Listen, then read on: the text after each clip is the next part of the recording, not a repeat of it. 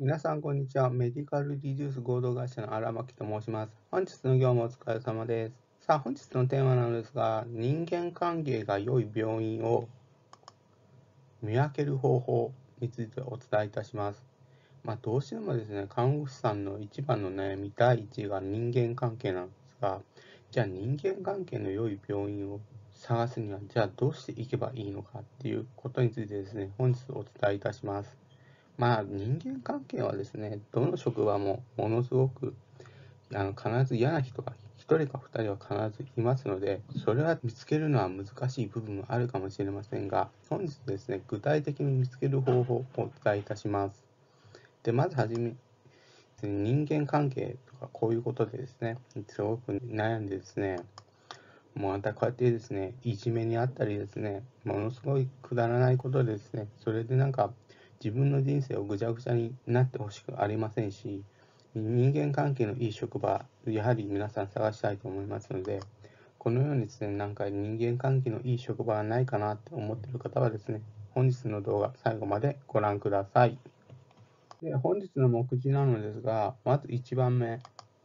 人間関係の良い病院を見分ける方法。2番目ですね、人間関係別のおすすめの転職先っていうのをお伝えいたします。で、3番目、最後ですね。その人間関係であの相談できる場所っていうのがありますので、それもご紹介させていただきます。でまずはじめですね、人間関係の良い病院を見分ける方法なのですが、まず1番目、人間関係の良い病院の見つけ方なんですけど、これはですね、一応求人を見ていただいてですね、で、人間関係が良い病院は何が高いかっていうことになるのですが、それはですね、有給消化率がですね、高い病院が、人間関係がとてもいい病院と言えます。自分が使いたい時に使えるっていう、皆さんその方がとてもいいですよね。何かの理由ではないと有給が使えないとか、そういうブラックなところだとですね、さすがにですね、いい病院とは言えませんし、そういうところはブラック病院というななります。私も食品スーパーの時はですね、こうやって自分で自由にですね、有給を使うことができる会社ではなかったので、やはりですね、それも私はブラック食品スーパーで働いてたっていうことになるんですけど、やはりですね、自由ですね、有給をちゃんと使える率が高い病院はとても良い病院と言えます。またですね、何と人間関係の悪さは比例するかっていうことなんですけど、やはりですね、残業時間がとても多いところはですね、やはりやめといた方がいいです。まあ、残業時間のある職場、ない職場っていうのも中にはあるんですが、あまり残業時間のない職場で働いても全然それもいいと思います。でもですね、やはり給料は下がる部分もありますが、人間関係にあまり関わりたくないっていうんであればですね、残業時間があまりないところとか、少ないところ、また全くないっていうところもですね、選んでみてもいいと思います。2番目ですね、病院の見学でわかる人間関係なんですけど、これはに病院の見学でどういうところを見ていけばいいのかっていうことなのですが、人間関係がとても良い病院は何も何も生き生きしているかっていうことなんですが、これはですね、看護師さんもですね、働いてる看護師さんも、また患者さんもですね、生き生きしている、そういう職場かどうかっていうのを必ず見るようにしてください。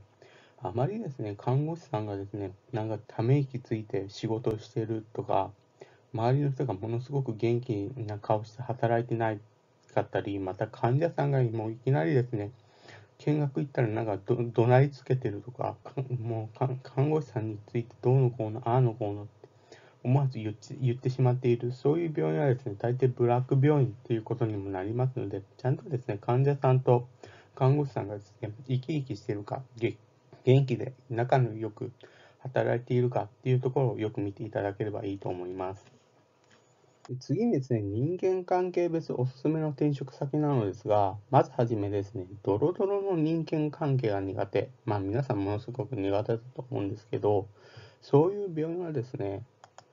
精神科病院をお勧めします。それはなぜかというとですね、男性看護師の3割以上がですね、精神科に勤めている病院がとても多いです。まあ、どうしてもですね、看護師さんはですね、女性社会として、女性のですね、人間関係でドロドロする場合もありますので、そこでですね、やはり精神科に行けばですね、3割ぐらい男性の方は中にはいます。女性だけで関わってると疲れるっていう方はですね、こういう精神科行くのもおすすめします。次にですね、体育系のノリが苦手と。まあ、看護師さんはですね、もう体力が必要で、なぜかその体育系のノリがどうしてもある。女性なのにもかかわらずあるっていう職場だと思うのですが、それはどういう職場に行けばいいかというとですね、慢性期病院をお勧めします。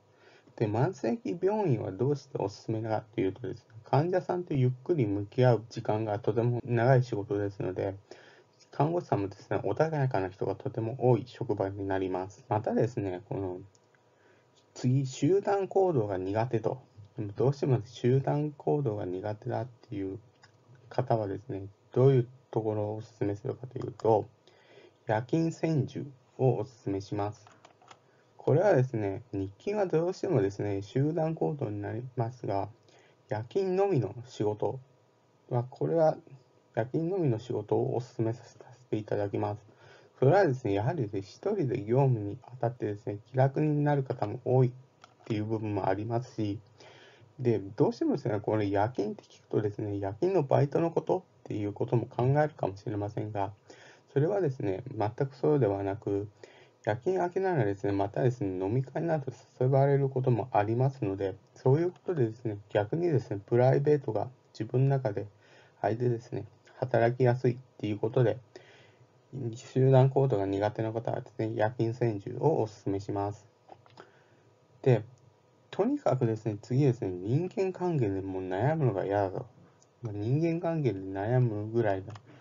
アホ臭いみたいな感じな方はですね、どういうところをお勧めするかというと、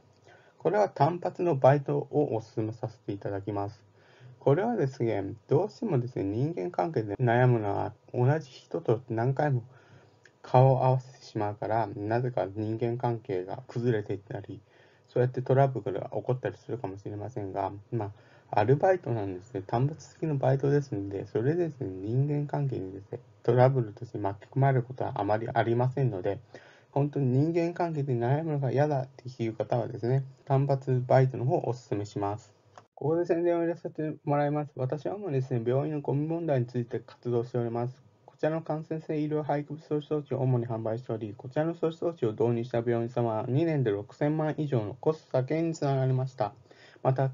炭素税対策として年間300万以上のコスト削減にもつながります。もしよければご検討の方よろしくお願いいたします。一般の看護師さんであればですね、看護師長さんや院長先生にこういうものがあるよって教えていただければ幸いです。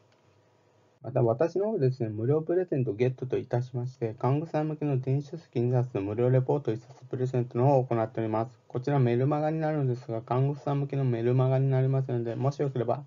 登録の方よろしくお願いいたします。また LINE アットの方ではですね、どちらかというと電子書籍向けの LINE アットとなっており、こちらも電子書籍1冊の無料レポート1冊プレゼントの方を行っております。こちらはですね、転職ガイドですね、面接対策の質問集がプレゼントされますので、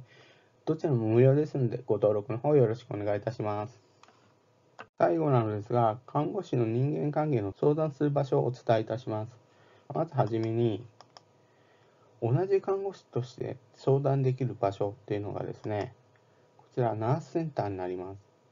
で、このナースセンターっていうのは各都道府県に全国ありますので、その都道府県別のナースセンター一覧っていうのをこちら下の方の概要欄に貼っておきますので、もしよければですね、相談したい方はですね、一応自分が住んでいる近くからナースセンター選んでいただいてですね、相談することもお勧めいたします。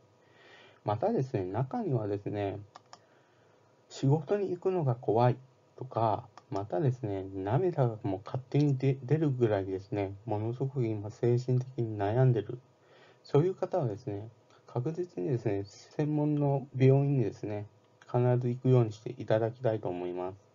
それはですね、カウンセリングや心療内科で相談することをお勧めします。心療内科と聞くとですね、そう言っても大丈夫なのかっていうふうになる方も中にはいますが、内科も心療内科も基本、基本同じ病院ですので、風邪をひいた時に内科皆さんかかると思いますが、そのぐらいの気楽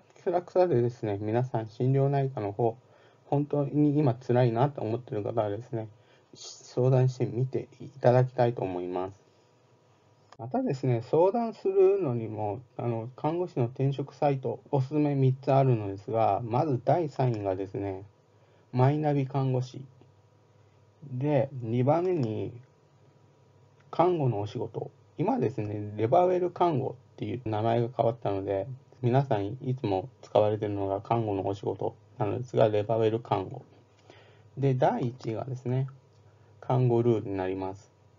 で、これ人間関係で皆さん相談したいんだけど、転職したいわけじゃないっていう方も中にはいると思いますが、別にですね、この転職サイトに登録していただいてですね、相談するだけでもですね、全然やっても大丈夫です。まずですね、面談を受けてですね、必要であればですね、もう転職するっていう流れになってもいいですし、別に転職しなくてもですね、看護師さんの経験の方がものすごく多いので、アドバイスを受けることも、相談することもだけでもですね、利用することも皆さんできますので、もしよければですね、こちら転職サイトの方、下の概要欄に貼っておきますので、ご登録の方よろしくお願いいたします。最後までご視聴ありがとうございました。私の YouTube チャンネルでは主に看護師さんの悩み、また転職についての情報発信を主にしております。チャンネル登録の方もよろしくお願いいたします。Twitter の方ではですね、基本的な看護技術のポイントや、看護師さんあるあるなどを配信しておりますので、もしよければですね、フォローの方もよろしくお願いいたします。本日は以上です。